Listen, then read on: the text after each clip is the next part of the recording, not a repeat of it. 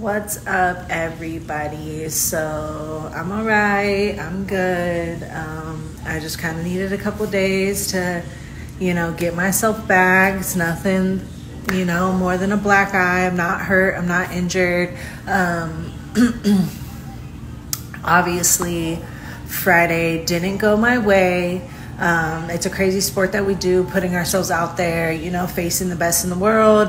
Um, and Larissa was just, she was better than me on Friday. You know, she came out, she executed her game plan, she did it quick, she did it efficiently, and, you know, she was in overdrive, and I was still stuck in neutral. But I'm blessed, I'm grateful, I'm thankful. I have still clinched my way to the playoffs, so they're not rid of me. Um, I'm not out by a long shot. I'm still in this, I'm still in this million dollars. I have, you know, a great opponent in front of me, um, Marina, who is a grappling specialist. Um, so I have a job to do. We're going to leave Friday where it's at, and that's in the past, and we're just going to move on and we're going to keep pushing forward and we're going to keep chasing this million dollars because your girl is still in it.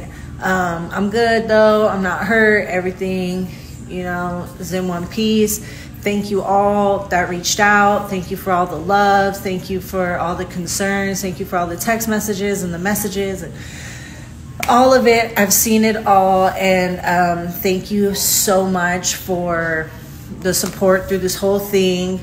Um, and we're just getting started. So, yeah, I will see everybody in New York because it's playoff time, baby, and I'm there. Mwah.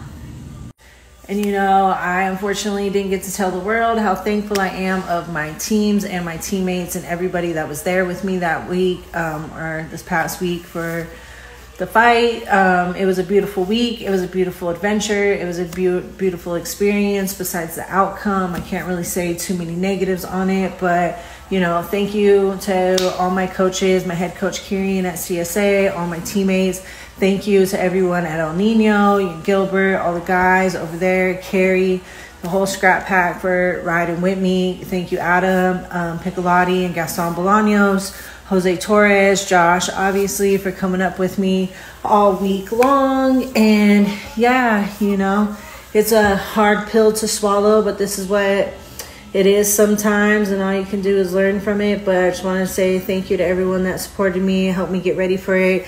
Thank you to all my sponsors. My head's still a little foggy. I can't really shout out everyone at the.